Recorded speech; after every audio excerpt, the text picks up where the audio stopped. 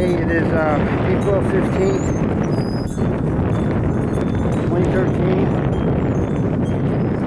I'm uh, unofficially on a state of emergency in this nation. The uh, government is pretty much illegitimate, but, uh, you know, in power, so we won't be trying to argue that point. But uh, they're out of control. The government that's in there is not actually our government. It's uh, international banks controlling it.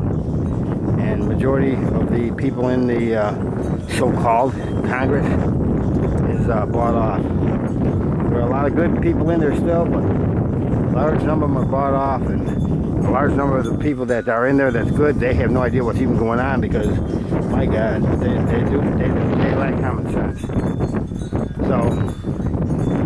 Put this on later on this afternoon.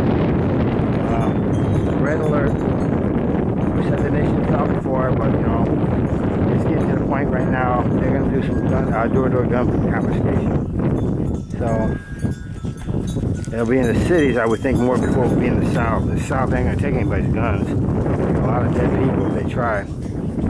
So, but that's what the controllers want, though. They want uh, the strife so that people start firing now. Want to get a, a civil war type of scenario going. But if you fall for that, then you know maybe you deserve to go too. So don't go for that crap. But red alert, okay.